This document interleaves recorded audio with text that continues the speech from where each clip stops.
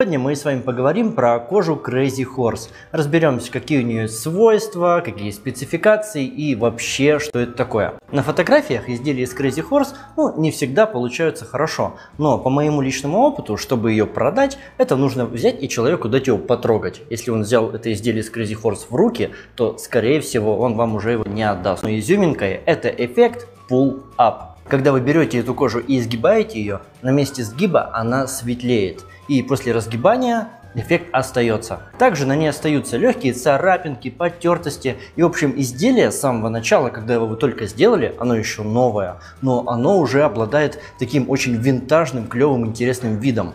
Это обратимый эффект. Кожа Crazy Horse – это кожа, пропитанная смесью масел и тугоплавкого воска, которые по коже, грубо говоря, гуляют. И иногда достаточно на коже просто место изгиба, которое стало светлее, просто потереть пальцами.